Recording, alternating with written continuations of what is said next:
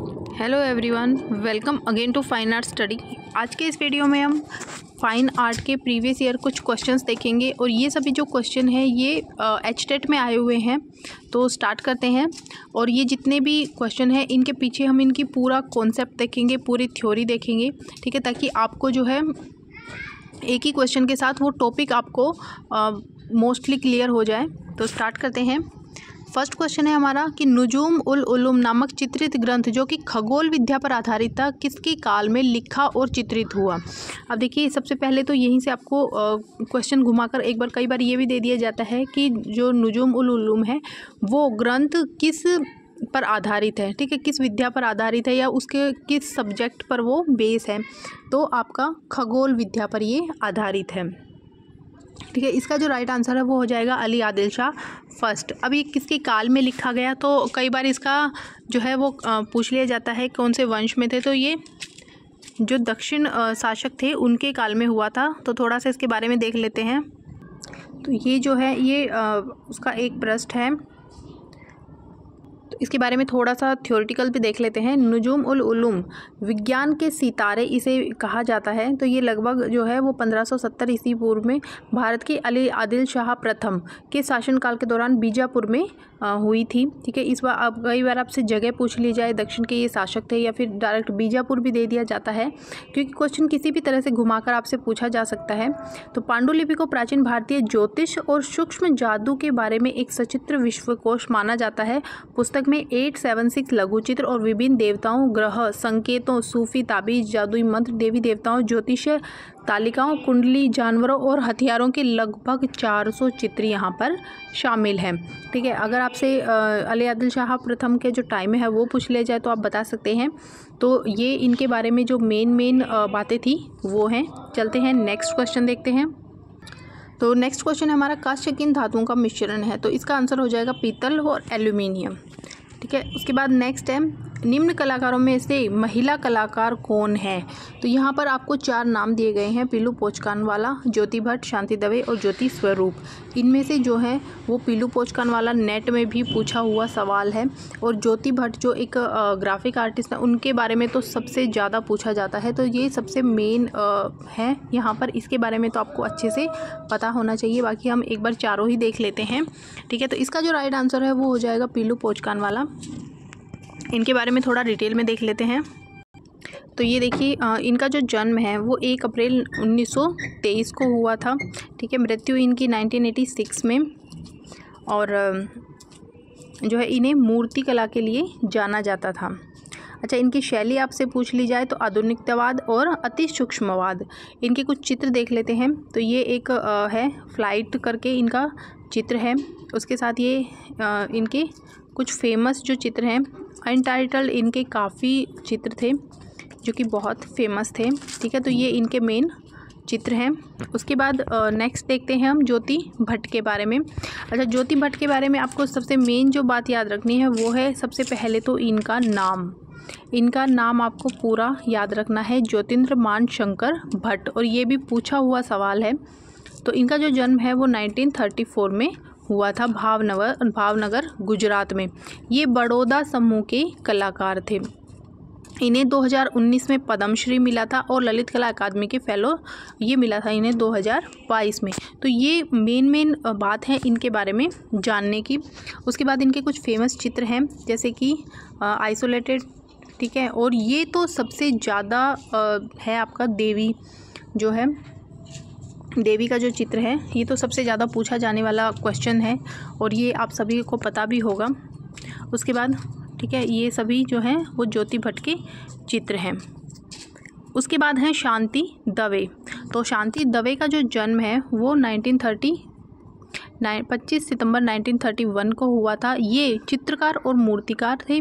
कई लोग बीसवीं सदी के प्रमुख भारतीय कलाकारों में से एक इन्हें मानते हैं। वह ललित कला अकादमी और साहित्य कला के पूर्व सदस्य थे। देखिए, ये जितने भी नाम हैं, ज्योति भट्ट हो गया, शांति दवे हो गए, ज्योति स्वरूप हो गए, ये सभी नाम से फीमेल लगते हैं, लेकिन ये सभी जो हैं, वो मेल आर्टिस्ट हैं। अच्छा भारत सरकार ने इन्हें 1985 में जो है, वो पद्मश्री से सम्मानित किया था। इनका जन्म बड़पुरा, गुजरात में हुआ था। ये चित्रकार और मूर्तिकार के साथ साथ भित्ति चित्रण के लिए भी ये बहुत फ़ेमस थे और ये भी जो है वो बड़ौदा समूह के चित्रकार थे। तो शांति देव के ये जो कुछ फ़ेमस चित्र हैं ठीक है? तो इनकी जो शैली किसी भी चित्रकार की अगर आप एक दो चित्र देखोगे तो आपको उनकी शैली का पता लग जाएगा और बाद में आप जो है उन, क्योंकि बहुत सिमिलरिटी होती है चित्रों में तो ये सभी जो है वो इनके चित्र थे। इनके बाद देख लेते हैं ज्योति स्वरूप के बारे में। ओके तो ज्योति स्वरूप जो है इनका जन्म राजस्थान में हुआ था। 1939 में ये चित्रकार थे, कवि थे, नाटककार और म्यूरल आर्टिस्ट थे, ठीक है? उसे और रसायन शास्त्र और होम्योपैथिक के भी ये ज्ञाता थे। उनके बाद इनका जो इन्होंने जो है अमूर्त और अभिव्यंजनावादी प्रणाली पर चित्रांकन किया था। कई बार ये क्वेश्चन पूछा जाता है कि किससे प्रभावित थे? तो वॉनगोक पिकासो और पॉल कली से ये प्रभावित थे। वाटर कलर और ऑयल और एक्रेलिक कलर में इन्होंने काम किया था। और जो इनकी श्रृंखला है, वो आपको याद रखनी है। एक तो शिवा शक्ति, ठीक है? और एक इनकी है ज्योति स्वरूप। जो ज्योति स्वरूप श्रृंखला है, वो इनकी याद रखनी है। और एक बार मीडियम आप लोग देख लीजिए अक्रेलिक में इन्होंने ये बनाई थी और इसी के लिए इन्हें 1984 में ललित कला अकादमी का पुरस्कार मिला था। इसके साथ ही एक इनर जंगल श्रृंखला, ये भी इनकी बहुत फ़ेमस है। तो बस यही इनके बारे में आपको याद रखना है। चलते हैं नेक्स्ट क्वेश्चन उसके बाद नेक्स्ट क्वेश्चन है, ययाति चित्र श्रृंखला बनाने वाले भारतीय चित्रकार का नाम क्या है? तो ये तो लगभग सभी को पता होगा, ए रामचंद्रन इसका आंसर है। क्योंकि ये क्वेश्चन मोस्ट रिपीटेड क्वेश्चन है बहुत ज़्यादा पूछा जाता है। ओके okay, उसके बाद देखते हैं ए रामचंद्रन के बारे में। तो सबसे पहले आपको इनका पूरा नाम याद रखना है। अच्युतन रामचंद्रन नायर।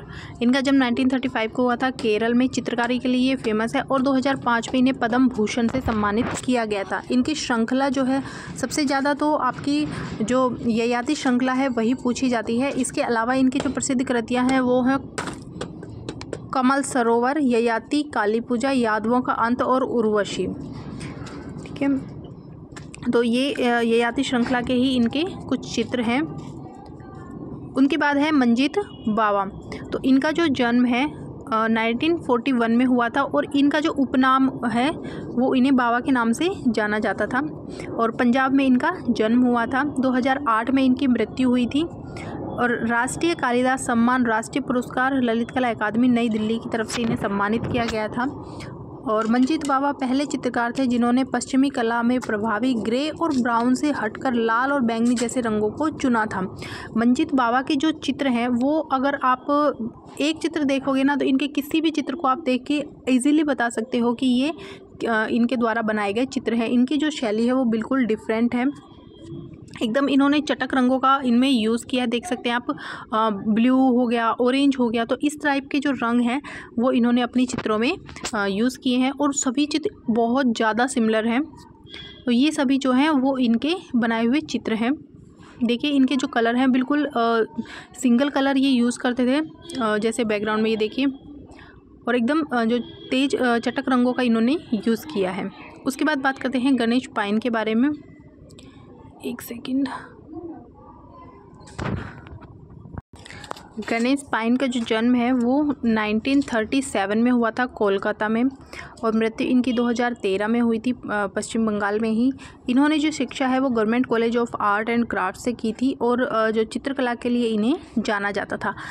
आंदोलन की बात करें या इनके जो भारतीय आधुनिक कला से ये जुड़े हुए थे और ये इनके द्वारा बनाया हुआ चित्र है। ठीक है, ये दोनों ही। उसके बाद बात करते हैं के लक्ष्मा गोड। इनका पूरा नाम आपको सबसे पहले याद रखना है, कलाल लक्ष्मा गोड। और 1940 में इनका जन्म हुआ था निजामपुर, हैदराबाद में। और चित्रकारी के लिए जाने जाते हैं और इन्हें भी जो है वो पद्मश्री से सम्मानित किया गया था। ये जो है वो चित्रकार प्रिंट मेकर और ड्राफ्ट मैन थे, लेकिन प्रिंट मेकर के रूप में ये सबसे ज़्यादा फ़ेमस है। तो ये देखिए इस टाइप के ये चित्रों के लिए जाने जाते थे। नेक्स्ट क्वेश्चन है कौन सा रंग एक वर्णीय रंग के अंतर्गत नहीं आएगा? ठीक है मोनोक्रोम जो आ, सबसे पहले तो अच्छा ये क्वेश्चन भी कई बार पूछा जाता है कि जो एक कलर होता है उसे क्या बोला जाता है? तो उसे बोला जाता है एक वर्णीय हिंदी में बोला जाएगा एक वर्णीय रंग या फिर मोनोक्रोम कलर ठीक है तो इनमें से बताना है कि कौन सा रंग उसकी श्रेणी में नहीं आएगा। तो इनकी थोड़ी सी डिटेल देख लेते हैं। तो यहाँ पर देखिए, ये जो टॉपिक है, इससे आपका जो कलर का टॉपिक है, वो एटी टू नाइन्टी परसेंट आपका कवर हो जाएगा। आप इसे ध्यान से देख लीजिएगा। तो जो है कलर सबसे पहले तो प्राइमरी कलर तीन होते हैं लाल, पीला और नीला, ठीक है? उसके बाद आ जाता है सेकेंडरी कलर सेकेंडरी कलर जब दो कलर्स को मिलकर बनाया जाता है तो वो सेकेंडरी कलर होता है, जैसे नारंगी, बैंगनी ये जो है, ये सेकेंडरी कलर है, नारंगी, बैंगनी और हरा। तो लाल प्लस पीला नारंगी तो ये आप लोग देख लीजिएगा। बस आपको सबसे मेन तो आप ये वाला याद रखिएगा ठीक है? ये याद रखने वाले हैं। उसके बाद जो प्राथमिक और द्वितीयक रंगों के दो दो रंगों के मिश्रण से बनने वाला जो कलर होता है वो तृतीयक रंग कहलाता है। जैसे पीला प्लस नारंगी को आ, मिलाएँगे तो सिट सिट्रन ठीक है? नारंगी और लाल वर्मिलन इस टाइप से ये जो है पूरा चार्ट है। आप चाहे तो लिख लीजिएगा इनको। उसके बाद नेक्स्ट है अगेन जो पूछा जाता है, वो पूछा जाता है इनके गुण कि कौन सा प्रभाव होता है, क्या गुण होता है, क्या उनके जो रंगत है वो कैसी होती है? तो इस टाइप के क्वेश्चन जो है वो पूछे जाते हैं। तो वन की रंगत प्रवर्ण की जो प्रकृति होती है, उसे ही रंगत कहते हैं। जैसे कि लालपन हो गया, पीलापन हो गया, नीलापन हो गया। वर्ण का मान मान मतलब उनकी गहरा, हल्का, इस टाइप से। तो गहरा, नीला नीला, हल्का, नीला। वर्ण की सघनता। तो ये जो है वर्ण की शुद्धता का परिचायक होते हैं। हरा रंग, ये तो जो है, ऐसे ही पूछे जाते हैं कि हरा रंग किसका प्रतीक है। ठीक है, इनका गुण क्या है या कैसा प्रभाव डालता है तो इस टाइप से क्वेश्चन बनते हैं। हरा रंग जो है वो विकास, प्रजनन और समृद्धि का प्रतीक माना जाता है। लाल रंग जो है वो शोक, उत्तेजक और आकर्षक है। यह सक्रिय आक्रमक आक्रामकता का प्रतीक है। वीरता, पराक्रम, साहस, श्रृंगारिक, तीव्र और कामुक भावना को भी दर्शाता है। उसके बाद पीला रंग जो है वो दिव्यता तथा यश यश का प्रतीक है। सफ़ेद रंग जो है वो प्रकाशयुक्त हल्का और कोमल होता है। स्वच्छता पवित्रता और सत्य का प्रतीक होता है। उसके बाद जो नीला रंग है, ठीक है, नीला रंग जो है वो शांत, मधुर, निष्क्रिय, ईमानदारी, आशा, लग्न आदि का प्रतीक है। तो इससे आपके मोस्टली जो कलर के क्वेश्चन क्वेश्चन है, वो आपके क्लियर हो जाएँगे। उसके बाद नेक्स्ट क्वेश्चन है कि किस मंदिर में सूर्य भगवान की तीन प्रतिमाएँ हैं? तो इसका जो आंसर है वो हो जाएगा कोणार्क, ठीक है ऑप्शन नंबर फोर। तो इसकी भी थोड़ी डिटेल देख लेते हैं। कोणार्क सूर्य मंदिर। कोणार्क सूर्य मंदिर भारत के उड़ीसा में है। ये तो आप सबको पता होगा उड़ीसा के पुरी ज़िले में समुद्र तट पर स्थित है।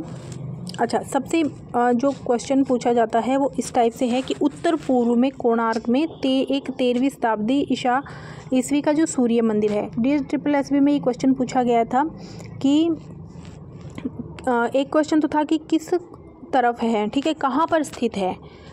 तो ये जो है, ये उत्तर पूर्व में स्थित है। एक क्वेश्चन ये आया हुआ था कि जो कोणार्क है, उसका क्या अर्थ होता है? तो ठीक है, कोणार्क का अर्थ होता है सूर्य का कोना।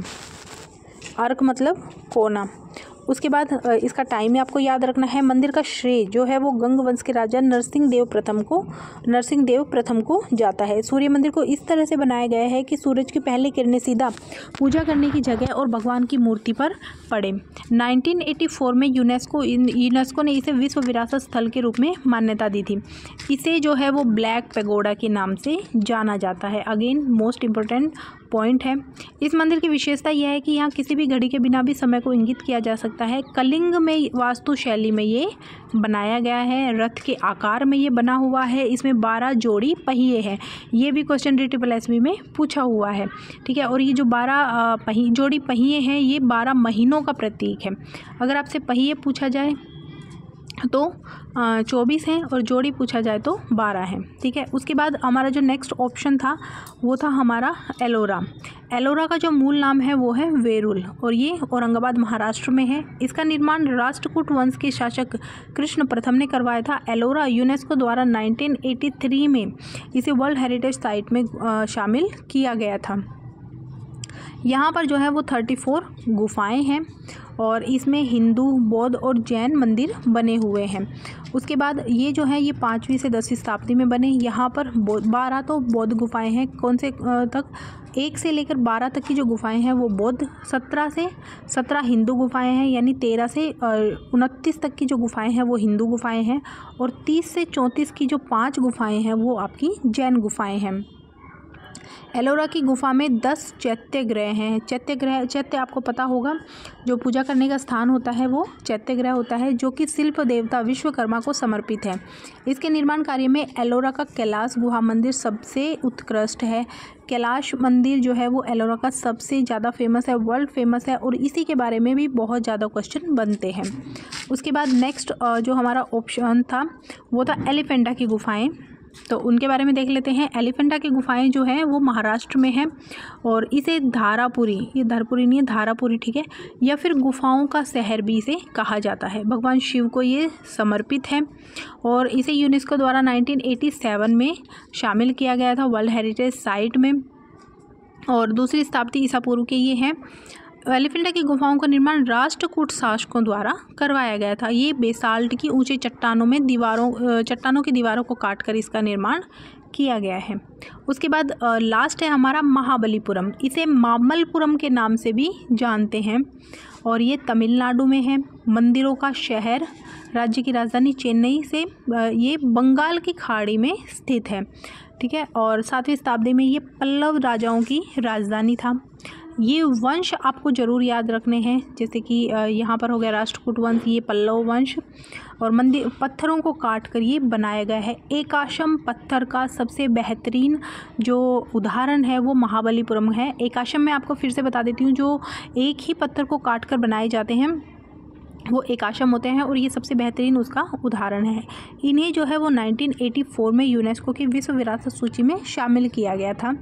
और महाबलीपुरम को रथ मंदिर भी कहते हैं। इसका निर्माण जो है नरसिंह वर्मन प्रथम ने करवाया था और महाबलीपुरम में आठ रथ आठ रथ हैं, जिनमें से पाँच का नाम महाभारत के पांडवों और एक द्रौपदी के नाम पर रखा गया था। ये हैं धर्मराज, भीम रथ, अर्जुन रथ, द्रौपदी रथ और नुकुल सहदेव रथ। ठीक है? तो ये इनके बारे में कुछ महत्वपूर्ण बातें थी। तो ये हमारे छः क्वेश्चन कंप्लीट होते हैं वीडियो काफ़ी लंबा हो जाएगा। तो आप मुझे बताइएगा कि क्या इस तरह से करवाना आपको ठीक लग रहा है? अगर आपके कमेंट आएँगे कि हाँ अच्छा है तो हम इसी तरह से क्वेश्चंस को डिस्कस करेंगे और फिर एच टेट के कुछ और क्वेश्चन पेपर हैं जिनको हम सोल्व करेंगे, जो कि आपके जितने भी आने वाले एग्ज़ाम्स हैं, उनके लिए आपको बहुत हेल्प करेंगे क्वेश्चंस में, ठीक है? Thank you